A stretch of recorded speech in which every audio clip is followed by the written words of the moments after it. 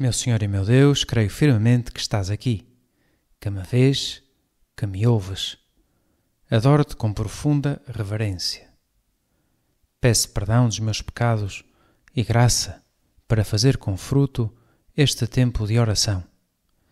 Minha Mãe Imaculada, São José, meu Pai e Senhor, anjo da minha guarda, intercedei por mim.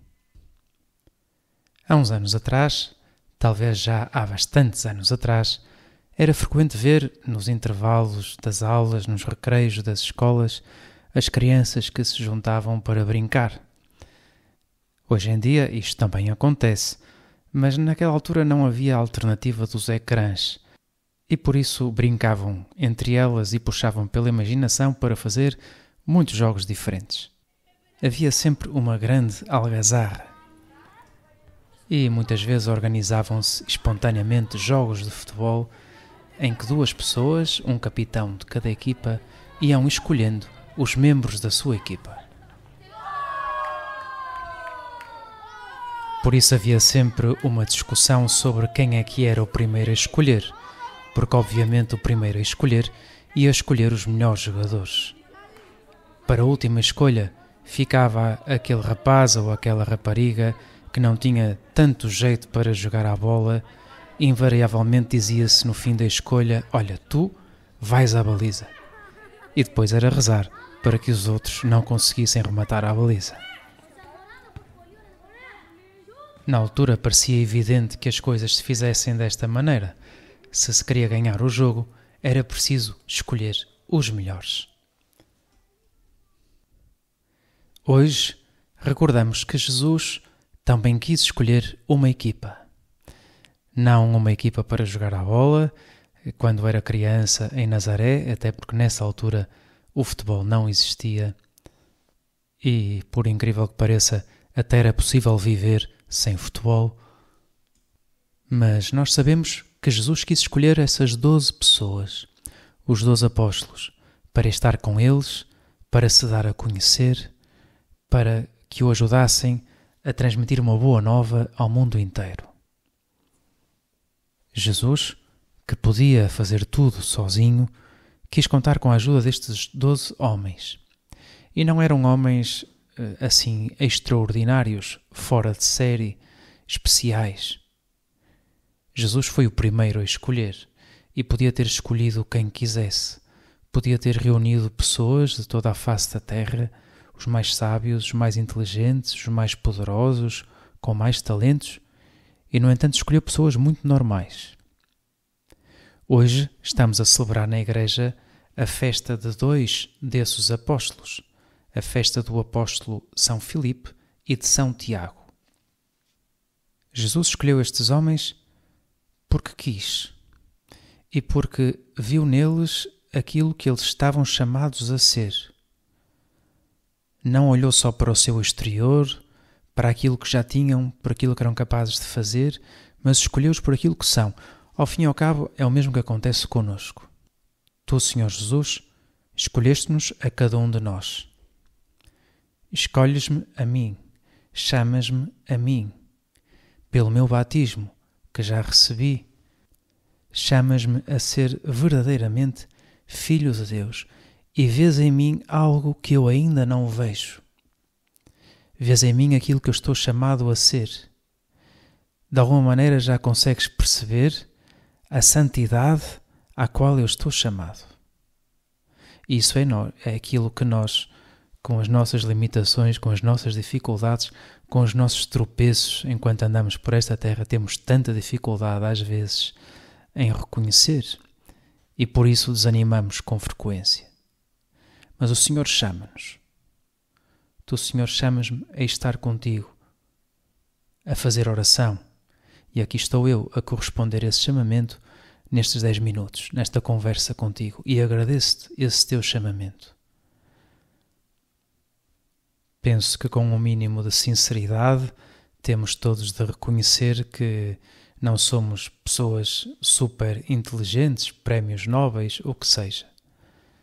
Mas ajuda-nos a olhar para este chamamento que Jesus fez, destes apóstolos a quem, a quem confiou a sua amizade E identificámos-nos até com eles. Identificámos-nos hoje com Filipe, identificámos-nos hoje com Tiago. O que é que sabemos destes dois homens? De Filipe, sabemos que nasceu em Betsaida, na Galileia. São João conta-nos que Jesus o chamou no dia a seguir de ter chamado São Pedro e Santo André. E também sabemos que Filipe levou a Jesus amigos seus. Foi Filipe que chamou a Bartolomeu e o levou até Jesus. De outras intervenções de Filipe nos Evangelhos, vemos que Jesus confiava nos seus apóstolos e pedia-lhes que pensassem, que arranjassem soluções. Por exemplo, no dia da multiplicação dos pães, antes de fazer aquele milagre, Jesus perguntou a Filipe: Onde é que tu achas que podemos conseguir pão para tanta gente? Realmente, tu, Senhor, apoiavas-te nos teus apóstolos, e onde eles não chegavam, chegavas tu, mas querias contar com eles. O Evangelho da missa de hoje também nos recorda um diálogo de Jesus com Filipe. Era uma ocasião em que Jesus estava a dizer aos seus discípulos: Eu sou o caminho, a verdade e a vida, ninguém vai ao Pai senão por mim. Se me conhecesseis, conhecerias também o meu Pai. Mas desde agora já o conheceis e já ouvistes. Estas palavras que nos parecem um pouco misteriosas a nós, que entretanto já tivemos muito tempo para refletir nelas, naquela ocasião pareceram mesmo incompreensíveis para Filipe, que reagiu com toda a espontaneidade e disse a Jesus: Senhor, mostra-nos o Pai e isto nos basta. E Jesus responde-lhe: Há tanto tempo estou convosco e não me conheces, Filipe. Quem me vê, vê o Pai. Esta repreensão de Jesus a Filipe é uma lição muito boa para nós que às vezes também atuamos desta maneira. O Senhor quer nos conduzir por um lado ou por outro, com as coisas que vão acontecendo na nossa vida, com as coisas que vamos ouvindo, que vamos lendo, que nos vão dizendo, e nós às vezes eh, revoltamos-nos e dizemos: Senhor, consegue-me isto que eu estou a pedir, e isso basta. E nessas ocasiões, Jesus pode nos dizer o mesmo que disse a Filipe: Há tanto tempo que estou contigo e ainda não me conheces. Que importante é conhecer melhor Jesus. Que importante é sermos capazes de nos darmos conta que Ele está sempre ao nosso lado. E conhecer Jesus tal como conheciam os apóstolos, não só assim de passagens que nos lembramos de vez em quando, alguma passagem do Evangelho, mas conhecer a sua vida como se tivéssemos estado lá. E para isso é preciso ler muito os Evangelhos. E para isso é preciso, de facto, fazer oração com esses textos da Sagrada Escritura. O Senhor gostava de te conhecer melhor, como Filipe te veio a conhecer melhor, como Tiago, o outro apóstolo que celebramos hoje. Como sabemos, há dois apóstolos chamados Tiago este que celebramos hoje chamamos de Tiago o Menor, para o distinguir do outro. Era primo de Jesus, familiar, parente de Jesus, e diz-se que era de Caná da Galileia. Era filho de Alfeu. Portanto, talvez conhecesse já Jesus antes do início da sua vida pública, mas o que é certo é que o foi conhecendo muito melhor depois e chegou a uma grande amizade com o Senhor uma amizade que foi capaz de transformar a sua vida. Em São Tiago, temos o exemplo de uma pessoa que levou Jesus aos outros não só com as suas palavras, mas com a sua própria vida.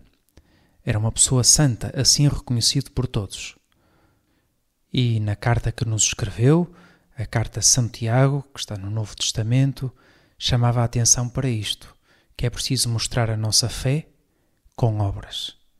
Não basta conhecer o Senhor, é preciso viver como quem conhece a verdade, como quem percorre esse caminho, como quem tem a vida. E é preciso dar a conhecer o Senhor aos outros. Este amigo de Jesus levou uma vida tão exemplar que até os historiadores da época, até o historiador judeu Flávio Josefo, dizia que Jerusalém sofreu grandes castigos de Deus porque os seus chefes assassinaram Tiago, que era o homem mais santo do seu tempo. estes foram os escolhidos por Jesus. E o Senhor também nos escolhe a nós, a mim e a ti, e chama-nos a percorrer este mesmo caminho. Que Nossa Senhora, ao longo deste mês de maio, nos ajude a percorrê-lo. Dou-te graças, meu Deus, pelos bons propósitos, afetos e inspirações que me comunicaste nesta meditação. Peço-te ajuda para os pôr em prática. Minha Mãe Imaculada, São José, meu Pai e Senhor, anjo da minha guarda, intercedei por mim.